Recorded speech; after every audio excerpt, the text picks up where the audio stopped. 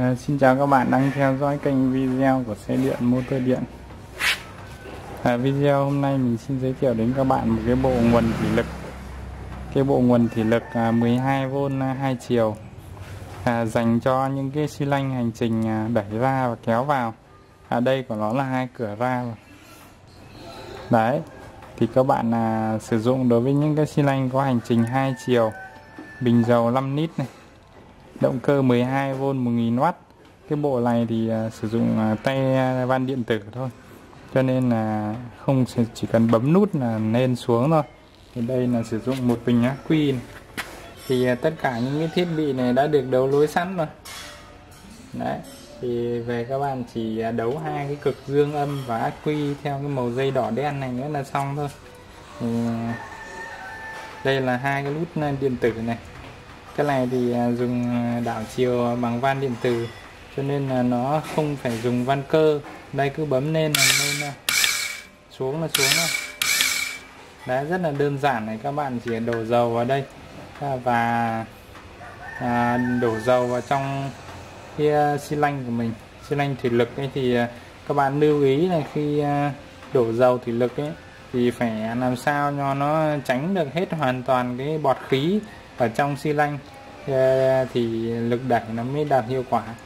Ờ, còn nếu mà xi lanh mà vẫn còn khí ở trong đấy, thì khi đẩy nó sẽ không tạo ra lực đẩy lớn được. Thì đấy là là một cái lưu ý quan trọng nhất thôi. Còn tất cả những cái thiết bị này thì mình đã đấu nối sẵn cho các bạn rồi.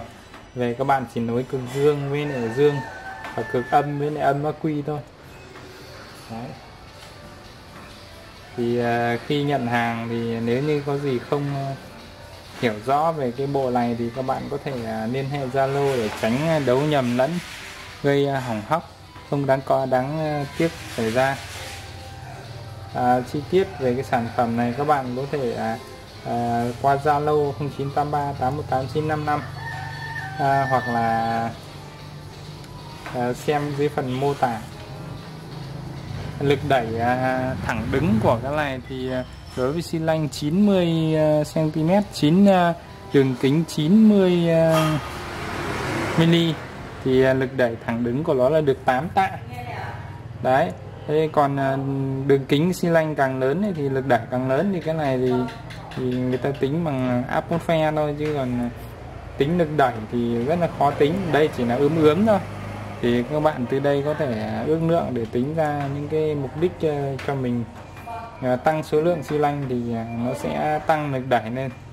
Rồi à, cảm ơn các bạn đã theo dõi video của mình. Video đến đây là hết.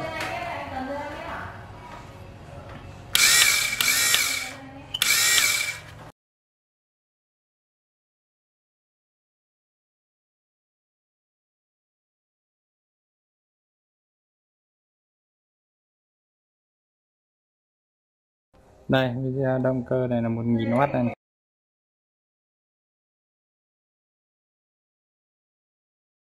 Điện áp 12V này. Dòng 130A này. Cái dòng à, động cơ này thì à, nó chỉ sử dụng trong ngắn hạn thôi. Có nghĩa là các bạn không thể sử dụng 24 trên 24 được.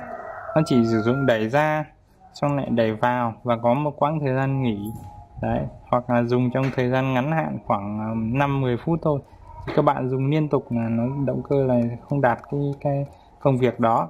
Nó rất là phù hợp với những cái việc à, đẩy ra đẩy vào và và ít thôi. Số lượng là ít hoặc là thời gian ngắn hạn đâu các bạn không được dùng nó sử dụng liên tục đẩy ra đẩy vào đẩy ra đẩy vào liên tục.